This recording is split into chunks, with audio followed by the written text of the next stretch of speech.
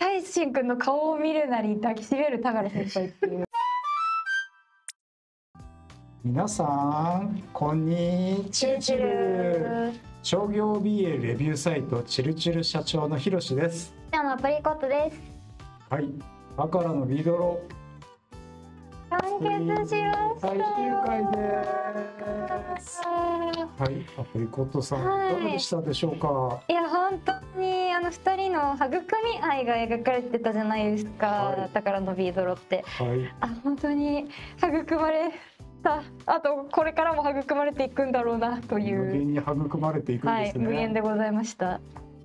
最終回のポイントはどこだったかですね教えていただけるとありがたいですはいポイントはですねあの宝先輩からの行為の表れ。おでございますかねやっぱりそのやっぱり大臣くんからのあのグイグイというか、はい。なんかアプローチというかはい。あの好きっていう気持ちが溢れてたんですけど今回はようやく宝先輩からの溢れ出る思いみたいなのが感じられて私幸せでございました。今まで宝先輩はいろいろ大臣君にね言わせてた感じだったんですか？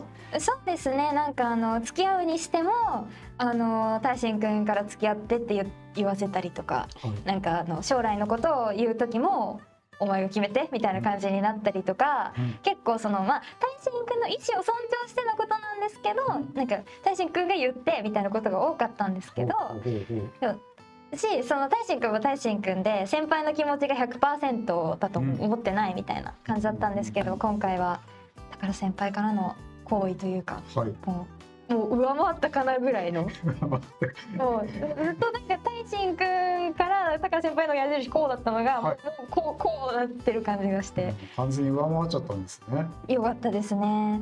でなんか前回で実家に帰ったじゃないですか。はい。大臣くんがあの、お母さんが大変って感じで、うんはい。命に関わるというよりかは妹ちゃんがうん。あの呼び戻したくて大げさに言ったみたいな 感じですね。で、はい。あのお母さんちょっと骨折とかはしてたんですけど、はい。すごくあうんの思っていたほど大変なことにはならなくて。はいはい。そこでまあ帰るんですけどなんか福岡の実家に帰って一回ちょっと離れたはい。2人じゃないですか。2人ちょっと離れてしばらく泊まるからはい。離れてたんですけどその時にあの夜中に大したことなくてよかったなみたいなはい。大事なくてよかったっていう会話をしてる時に大臣くんが「会いたい?」みたいなことを口走って寝落ちしちゃうんですよ。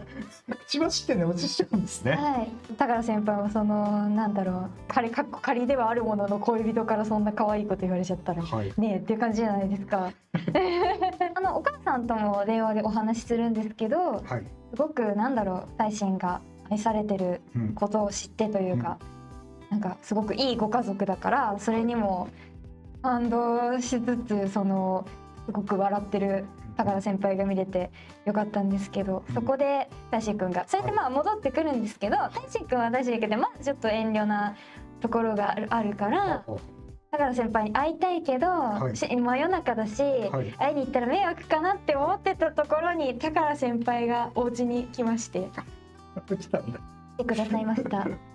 何しに来たんだとか言ってね。いやいやいやいやいや。いやでその時にまあ、あのまあ不審者事件とかもあったんで警戒してちょっとフライパン持ちながらこう出てきたから大臣くんがすごく可愛かったんですけど大臣くんの顔を見るなり抱きしめる田原先輩っていう。いきなりすごいなんか感情が溢れ出るような溢れ出るようなじ感じで抱きしめててはい。でそれで本当にもうもう床で抱きしめたまま床で寝っ転がって会話する2人がめちゃくちゃ可愛かったんですけど。あはいははい。え本当に先輩からまさかハグしてくれるとはみたいな。いいあ今までなかったでしたかやああったにはあったんですしあったんですけどやっぱりその一話とかに立ち返ってみるとまさかこのツンツンな先輩がここまでデレデレになると思わないじゃないですか。確かにそうですねちょっと見返してみるとなんかあここまでツンツンしてたけどもう最終的にはこんなデレデレの出来合い攻めになるんだぞみたいなところが。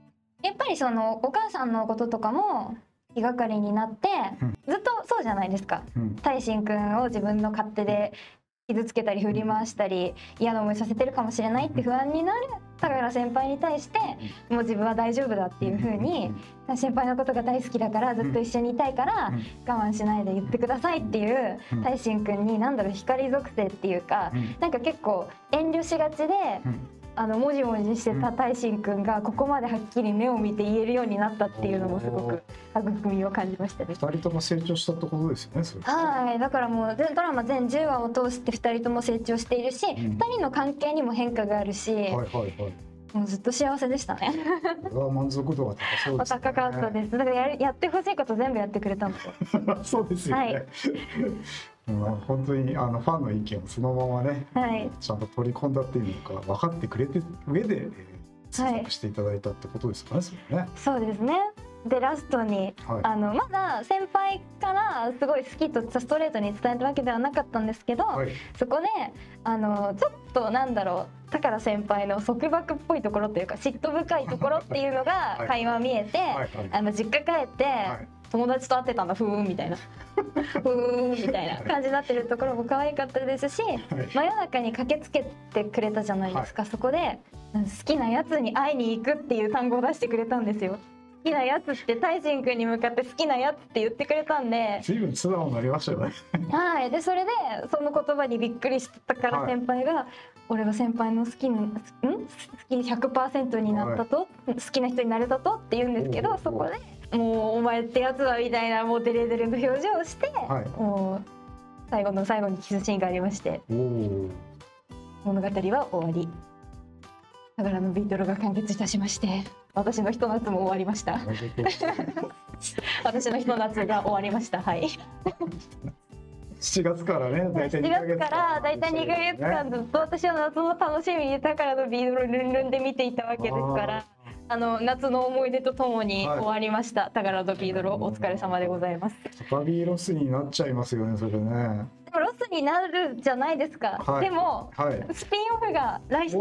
はい。スピンオフがあるんだ。あります。二十歳になった大臣くんと宝先輩のちょっと、そういうそういうあちょっりして。ったとエッチな感じなんですか？う初夜の気配を それまでやんなかったんだ。でももうもう CC って感じなんですけど まあ、あのキスシーンとかはあったんですけどキスとはいかハグとかはあったものの、はいはい。決定的なことは書かれてなかったので、ええええ。スピンオフでそれも気配を感じているので、まあ残暑続いてますしまだまだ高瓶も楽しんでいきたいと思います。あ来週もあのね楽しみが残ってよかったですね。はい、ちょっと終わった後どうなるかわかんないんですけど、私が。ね次の動画ではもうね何言ってるかわかんないぐらいすごいこう興奮しておしゃべりになってるようなね。まあ理性は保てるように努力してますね。はい。わかりました。はい。はいじゃあ10話通してあの何か一言感想アプリボットさんございますでしょうか？